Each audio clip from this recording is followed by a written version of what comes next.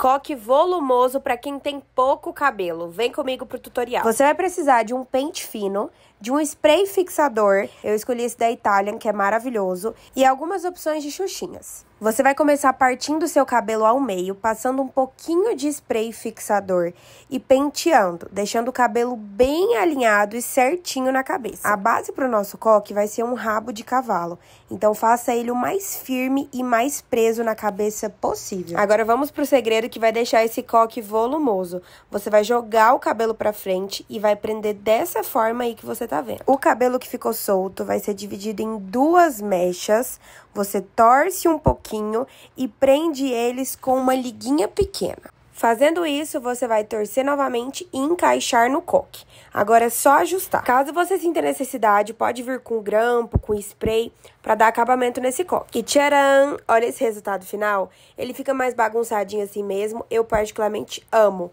Quero saber de você. Gostou?